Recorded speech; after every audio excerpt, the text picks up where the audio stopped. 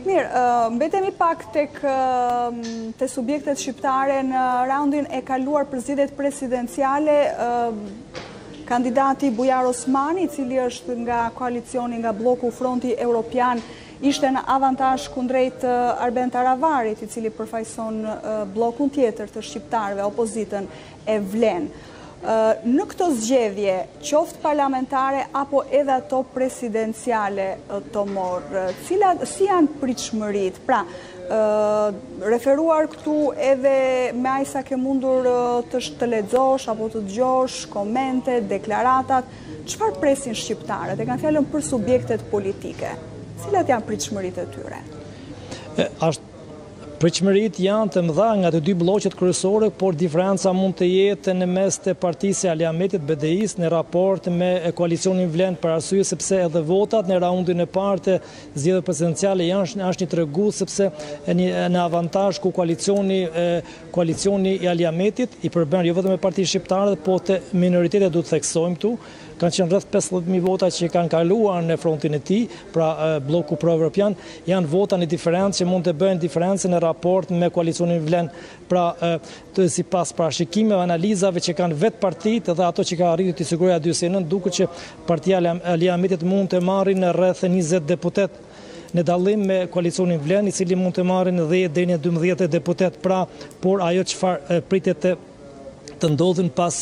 pas përfundimit të votimeve të sotme është që partia e cila pritet dhe ka frymën fituese VMRO DPMNE duket që ka ftuar dhe ka një koalicion të heshtur me me koalicionin Vlen pra VMRO DPMNE do të ftojë në koalicion jo më partinë e Ali Ahmetit po partinë e koalicionin Vlen çfarë do të përbëjë do të përbëjë një përplasje politike në të dy kampet jo vetëm maqedonas po edhe në kampet politike shqiptare Në fakt përplasjet mes shqiptarëve nuk është diçka e re Tomor, kjo ka ndodhur shpesh, partitë shqiptare gjithmonë kështu kanë qenë të ndara, BDI ka qenë kryesisht në pushtet,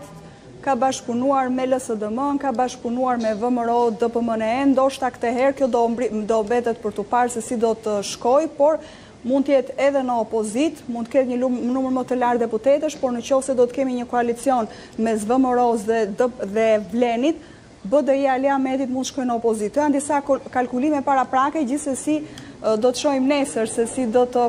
përllogariten se si do të konfigurohet qoftë parlamenti apo edhe qeveria e re e Republikës së Maqedonisë së Veriut. Është një aleancë ose negociata në heshtje. Ka diçka gjatë këtyre orëve ose gjatë gjithë kësaj dite që ti ndodhesh në Republikën e Maqedonisë së Veriut,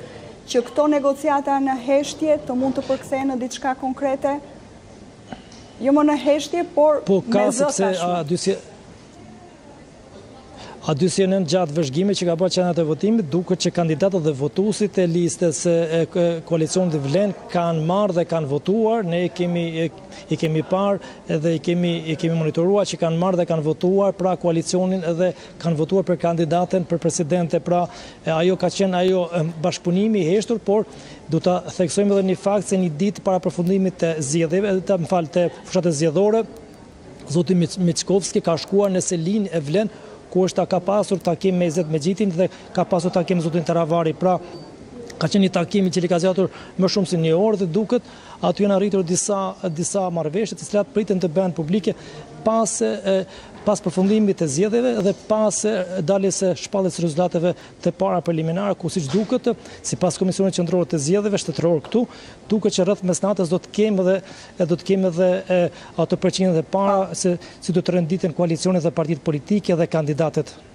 Edhe diçka tjetër, Tomor, për sa i përket presidentit të ardhshëm, Davkova ka nevojë për votat e shqiptarëve apo mund të dalë e vetme? Ka shumë nevojë për, ka, Ka shumë nevojë për votat e të gjithëve, pasi është një moment shumë kritik ku nuk është kushtetuta thekson që duhet të arrihet censusi 40% të votave dhe kjo kjo përbën një shifër shumë të madhe, pra 724000 vota, ai ka nevojë për çdo votë dhe vota shqiptare është vendimtare, në qoftë se vota shqiptare tërhiqet ose heshtet, atëherë ajo s'mund të jetë më, s'mund të jetë presidente e vendit, por duhet të zhvillohet një raund i ri dhe do të zhvillohen zgjedhjet e tjera presidenciale, pra në një afat dyzet e pesë ditësh është e parashikuar sipas Kushtetutës dhe e gjithë pushteti kalon te kreu kryetarit të Kuvendit, ku edhe kryetari i Kuvendit për momentin është i pazgjedhur, por duhet që Kuvendi të mblidhet, të zgjedhin kryetarin e Kuvendit dhe pastaj ai të shpallin zgjedhjet presidenciale, ku sipas ligjit të këtushëm duhet të zhvillohen dy raunde, raundi i parë, për të thjeshtësuar kandidatët pasi janë më shumë se dy dhe raundi i dytë për të përcaktuar sak se kush mund të fitojë dhe kush mund të ketë numrin e votat e duhura, por kërkesa e partive shqiptare, disa partive të tjera jo shqiptare ka qenë që presidenti i vendit të zgjidhjet të zgjidhet drejtpërdrejt nga kuvendi dhe jo më me votat e qytetarëve. Me gjasë kur pritet të dalin rezultatet e para nga Komisioni Qendror i Zgjedhjeve? Sipas informacionit që ka siguruar Dysi nga zëdhënësi zoti Shabani ka theksuar se do të jetë rreth mesnatës, pra rreth orës njëzet e katër do të kemi do të kemi rezultatet e para preliminare, pasi janë duke grumbulluar dhe sistemi funksionon shumë lehtë dhe dërgimi dhe shpallja e këtyre rezultateve do të pritet rreth orës njëzet e katër të mesnatës pra kur do të do të zbardhet saktësisht ajo trendi i fituesit dhe trendi kush do të shkojë në opozitë dhe kush do të jetë në pushtet për të qeverisur në Republikën e Maqedonisë së Veriut për katër vitet e ardhshme. Mirë, Tomor, të falenderoj për këtë lidhje të parë së bashku. Do të jemi sërish edhe gjatë orëve në vazhdim, edhe në orën 19 kur do të mbyllen dhe qendrat e votimit. Faleminderit